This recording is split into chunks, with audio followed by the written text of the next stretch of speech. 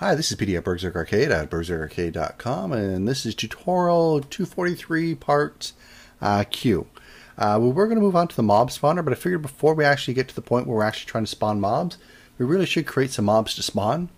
So in this one here, we're actually going to set up uh, at least one mob to, to spawn. So I've gone ahead and included the Frogames Proto Pack. I'll put a link down in the little doobly-doo below.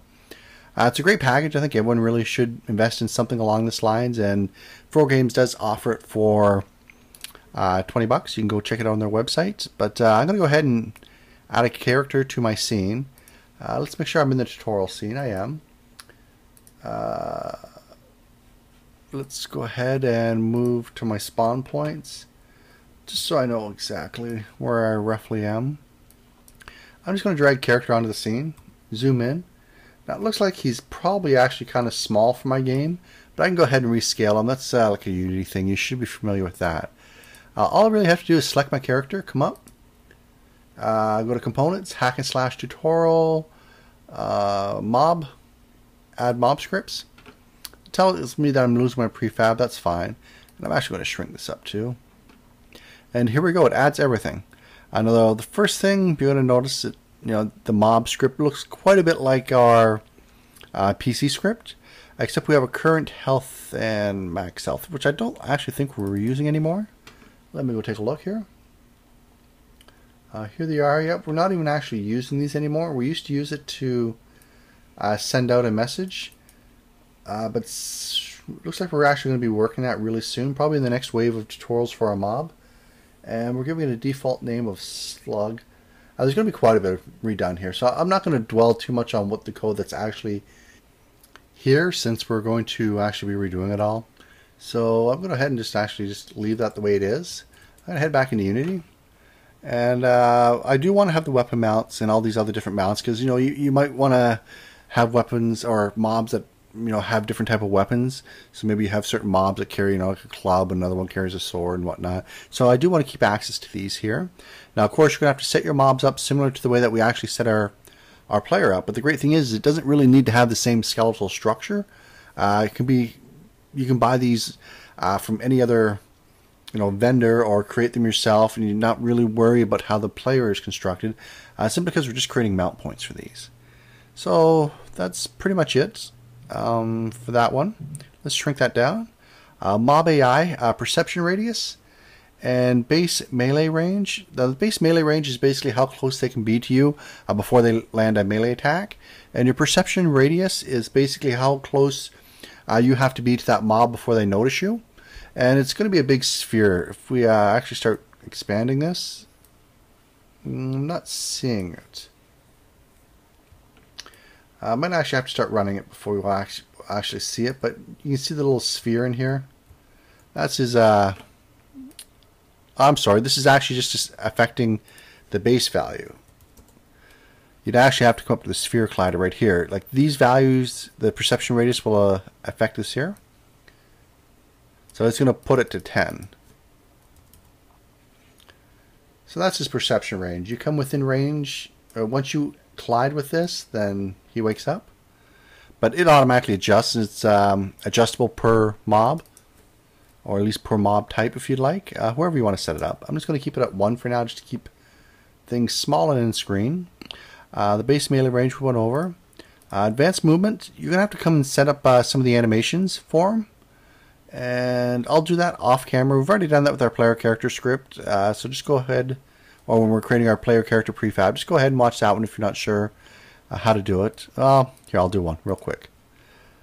Uh, let me shrink it down. Uh, we'll do the walk one. So I'm just going to come up to animation. I actually don't have any animations attached to this yet. So I'm actually going to have to go ahead and find these animations and attach them. Hmm. Okay, well, anyway, let's go find them. Because this might occur for other people. So here we are. Uh, I just want to kind of click one of these to bring me to the animation. I'm going to have to extend this just a bit so I can see them. Uh, here we go.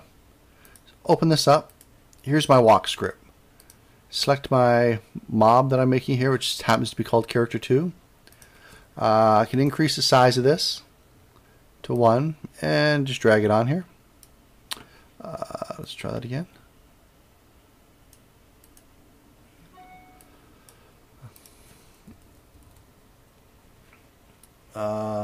Uh, here we go. Uh, there's two different types of walk I have.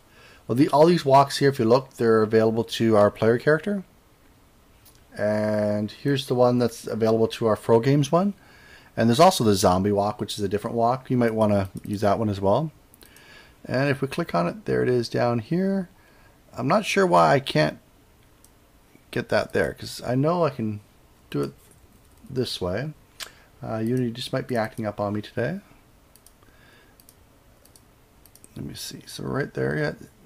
For some reason, I can't drag and drop it today. But anyway, uh, that's how you do it. I'm probably going to need some others like run. Uh, I'm not sure exactly which ones I'll need uh, completely, but um, later on I will be switching this over to taking the animation clips themselves. So we won't even have to worry about adding them on up here. We can just drag them on down here. Uh, but for now, we're just referring to the string name of the animations up here. But anyway, we're going to go through and add the ones that we have for it here. Uh, sphere collider, you don't actually have to do anything here. You might have to click is trigger. I'm not going to because I don't think we have to. I'm pretty sure our AI script does that for us. And then the animation. So let's go ahead and start this up, see what errors we get. Uh, what about the animation not being available? So let's go see what animation it needs. It needs an idle animation. And I know these are going to be on my mob because that's just what I finished adding. And advanced movement. So I need an idle. So let me click my mob here. Uh, go down here. Better yet, let's just find idle. Uh, it's easier the other way. And we'll look for idle. Uh, we'll look for the one that's attached to our Fro game. There's idle up. Now, the Fro game models are made a little bit differently. They're made to uh, use blended animations. Uh, I'm just going to actually just pick this one here. And put that name in down here. So it's up underscore IDLE. And I'm going to hit clear. Start again. And there we go. Let's go over and take a look at our mob. I'll pause the game. It looks like he fell through the uh, ground. And it doesn't look like anything adjusted. And I'm pretty sure I thought I had it set up to adjust. That's fine. Let's unpause it. I'm going to go back to my character in the scene view, or I guess our mob, and start pause right away. I just want to see if the uh, trigger is being set for us on the collider. Okay, it actually apparently we have an error here. if we scroll up and just double click the error, we'll come back to our AI script and we'll notice that it's looking for a home and it's trying to get its transform parent value. And I believe I mentioned in the last video that all mobs are meant to spawn under a spawn point. And they can move around as much as they want, uh, but uh, they have to have some sort of spawn point that they're tied to. So if we ever have to reset them or something like that, it knows where to go. And for some reason, my drag and drop is not working too. There we go. For some reason, I had to expand it. Uh, but it was not working too well. I'm going to go ahead and reset the position. And I'm going to go look at it now in our scene view. So here we are. He's all up inside that spawn point. And let's go ahead and hit start or play. And let's go find them. Uh, we did not get any errors. We did get a couple warnings. Um, uh, I have to add my 3D text mesh to a character, or to my mob. That was for the floating name above his head. And we do not have a target for the camera script. Uh, that's for the camera script when it first starts up. It takes a look uh, to find the, the player, and if it can't find it, then it uh, well basically waits. It doesn't do anything. Uh, and then it checks again later on. But anyway, if we look in the mob here, he's actually fallen to the ground. And what I want to look at is to see what was set and what wasn't set. So if we take a look here, uh, his perception range is set. Uh, the radius is set. It's automatically set to is trigger. Uh, so it appears that all we needed for our animations was, uh, well, at least idle up and probably walk. I'm pretty sure I need walk as a, a default. And the character controller is not set by default. And that's something I actually want to change in script. Uh, basically have the character controller automatically sized to our mobs instead of always having to go in and size them ourselves. But it's not that bad. You go ahead, look at the height. You generally just have to go half the height, which is one. And then just play around with the radius. So we'll zoom in a bit. And, uh, well, that radius is too big. Uh, it's too small. I usually like it about uh, out just to the shoulders. Uh, that's it. So I'm going to stop that. I'm actually going to take the character, uh, make those adjustments that I just made, and let's actually go find the character so we can take a look. Because I didn't actually remember what I saved. Uh, the radius was probably about 0.3. That's what I'm going to save it as. But I'm going to go ahead and take this character and make a prefab for it. Clear the search. Uh, I'm just going to come down to my resources. I'm just going to throw it here. And yeah, I'm going to put it under prefabs for now. The path does not matter for now. Uh, I do not want to create a new G JavaScript. I will create a new folder. And I'm going to call this just mobs.